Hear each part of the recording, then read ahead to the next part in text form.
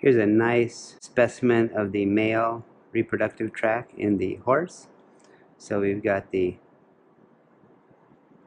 urinary bladder here with the ureters coming in. We can see now the ductus deferens coming in. We see a very nice ampulla of the ductus deferens here.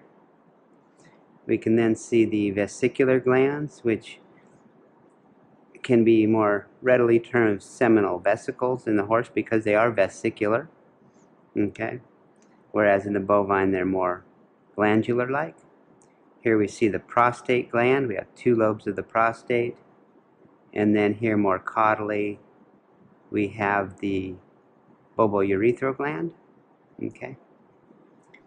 Here we see the good example of the testis.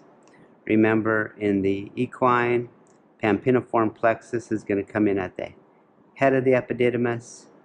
We're going to then have the body and the tail of the epididymis. And then we have the ductus deferens. This testis has been opened up. Okay.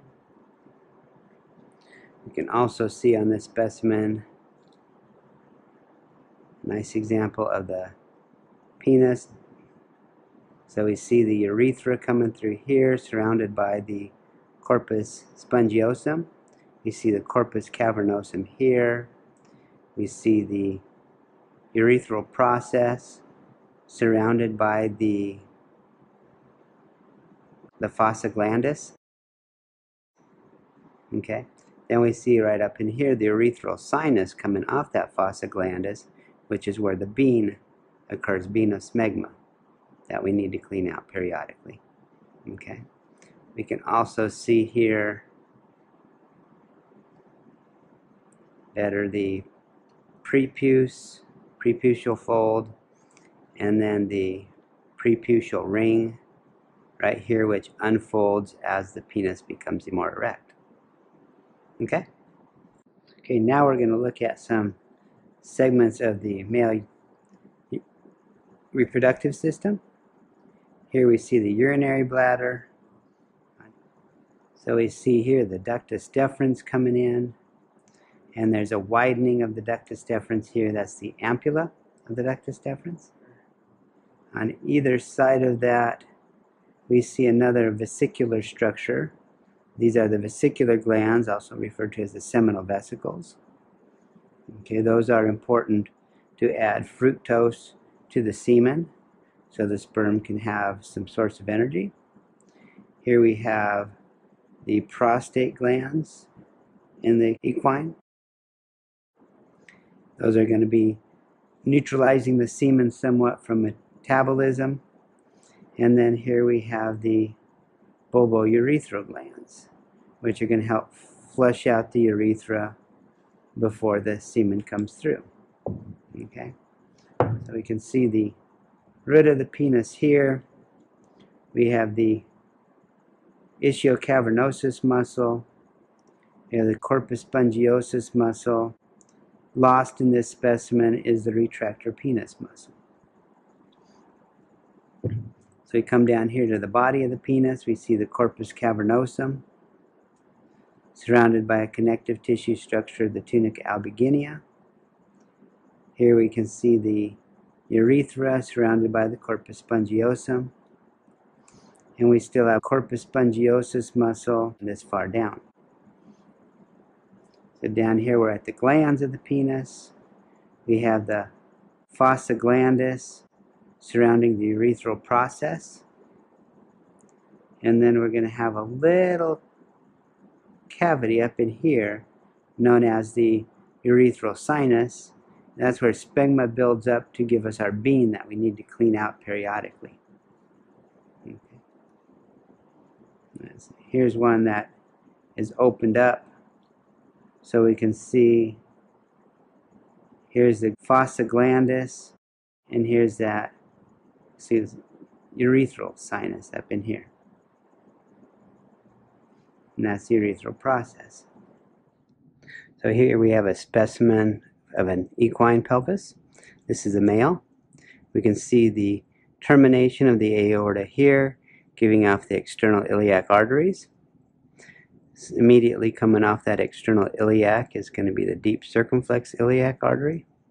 We may find lymph nodes here and here, which would be the medial and the lateral iliac lymph nodes. Our external iliac continues on down here. It's then going to give off the deep femoral artery. So the deep femoral artery is coming off here. And then it gives off the pudendo-epigastric trunk, continuing then as the medial circumflex femoral. That pudendo-epigastric trunk is going to give off the caudal epigastric as well as the external pudendal artery. Okay. Coming back up here, we should be able to find a nerve. I'm not seeing it here. There should be a nerve passing across. Oh, maybe this is it. Passing across the deep circumflex iliac and then going down through the inguinal canal. That's going to be the genitofemoral nerve. The genitofemoral nerve is going to innervate the cremaster muscle and then it's going to ramify outside the inguinal canal into the skin and the external genitalia. Okay. We see here the deferential artery, which is also a branch off the external iliac. In the mare, it's going to be the uterine artery that comes off here. Here we can see, let's see, I think this is the testicular vessels joining with the ductus deferens to go through the inguinal canal. So here we see the ductus deferens and the genital fold. The urinary bladder is way up in here. We got a little remnant here of the median ligament of that. Okay. And then of course this is the descending colon becoming the rectum in here. Okay. Something else here on the equine male pelvis I wanted to show you. Here's the obturator nerve. And then here is the obturator artery coursing with it. Obturator nerve, vein, and artery. This is important because in the penis of the equine, not only do we have the artery of the penis coming off the internal pudendal, but we have the middle artery of the penis coming from this obturator artery. That's going to give us the middle artery of the penis. That's going to anastomose with the dorsal artery. And then our external pudendal artery is going to give off our cranial artery the penis which is also going to anastomose with that dorsal artery. So in the dog and in the bovine, we just have the artery of the penis coming off the internal pudendal. In the horse, we've got that artery, the middle artery of the penis from the obturator artery, and the cranial artery of the penis from the external pudendal artery. Okay, so let's move on over to here. So caudally, we see the ischiocavernosus muscle. We see the bulbospongiosus muscle and overlying that is the retractor penis muscle. Okay. Follow it down here. Here we have a nice testis. Now it's going to be sitting in the body this way, so the tail of the epididymis is towards the tail. The head is where the pampiniform plexus comes in. So the head, the body, and the tail of the epididymis. The testis is here. So we have on its surface the visceral vaginal tunic. Over on this side we can see, oh this is very nice, the tail, you can see the epididymal duct. Remember it's one long duct, it's very tortuous in here. And then it's going into the ductus deferens. So we have the mesoductus deferens here, we have mesorchium here.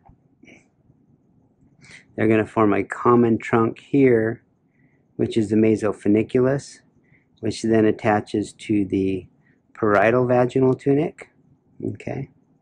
And we turn that vaginal tunic out this way, we can then see the cremaster muscle coming down and attaching to the outer surface of that. Very nice. Okay. Here we can see the preputial orifice here, and this is the preputial ring, which folds in as the penis is retracted. Okay?